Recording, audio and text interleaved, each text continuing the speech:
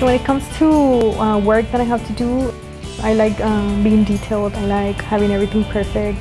I have always liked the office setting and also to help my boss to have everything in its place. She's a very, very busy person and she relies on me. We graduated in the fall and I think this program has really prepared me. The instructor's excellent, very caring and dedicated. I plan to stay here at Texas. I think there's great opportunities here. I feel confident that I'm going to do a good job wherever I'm going to work. I strongly recommend technical programs. It provided me with the knowledge, the skills, and the tools to incorporate to the workforce.